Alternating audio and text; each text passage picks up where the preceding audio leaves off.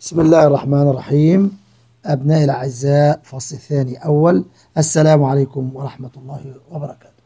آه، أحب أن أهنئكم بقدوم شهر رمضان المبارك. أعاد الله علينا وعليكم وعلى أمتنا الإسلامية بالخير واليمن والبركات. أهيم بكم ووقانا الله آه، عز وجل شر الأوبئة وشر سيء الأمراض ما ظهر منها وما بطن. آه، أذكركم أبنائي من استطاع منكم الصوم فليصم آه، ويحاول أن يصبر ويجلس فترة طويلة متحملا في ذلك آه، العطش قدر الإمكان يا أولادي حتى تتعودوا وأنتم صغار على الصوم. فإذا صمتم فإنكم لا تجدون صعوبة عندما تكبرون. تقبل الله شهر رمضان منا ومنكم.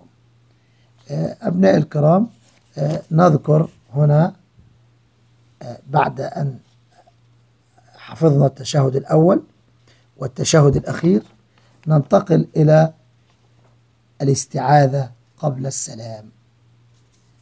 قبل أن أسلم يا أولادي وبعد أن قرأت التشهد الأول والثاني قبل أن أسلم انتهيت من الصلاة على النبي صلى الله عليه وسلم. تحيات كاملة. إلى التشهد الأول والثاني بعد مباشرة أنتقل قبل أن أسلم هناك استعاذة قبل السلام من الأذكار. أمرنا نبينا محمد صلى الله عليه وسلم أن نستعيذ بالله من أربع فنقول بعد التشهد والصلاة على النبي صلى الله عليه وسلم طبعا قبل أن نسلم ما, ما هذه الأربع؟ اللهم إني أعوذ بك من عذاب جهنم واحد ومن عذاب القبر ومن فتنة المحيا والممات ومن شر فتنة المسيح الدجال. ومن شر فتنة المسيح الدجال. هذه أربعة أشياء نست... علمنا رسول الله صلى الله عليه وسلم أن نستعيذ بها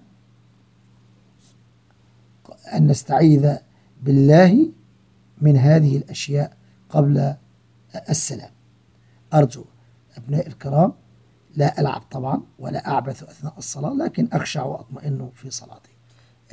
أرجو أبناء الكرام أن تحفظوا هذا الدعاء وهذه وهذا الذكر قبل السلام. كما أطلب منكم هنا يا أولاد حفظ صفحة خمسين وهو الاستعاذة قبل السلام. ومعنا واجب يا أولاد الكرام صفحة واحد وخمسين.